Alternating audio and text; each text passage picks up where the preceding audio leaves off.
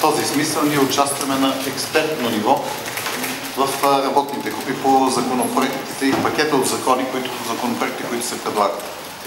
Откровено казано, темата засяга всеки от нас. Войната по пътища е тема, която се дискутира и е на дневен ред, засяга всеки не по-малко, отколкото проблема с бежанците.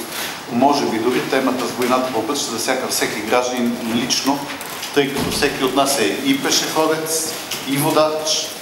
Децата ни също са на улицата всеки дневно, така че темата е важна и неотменна част от нашия живот.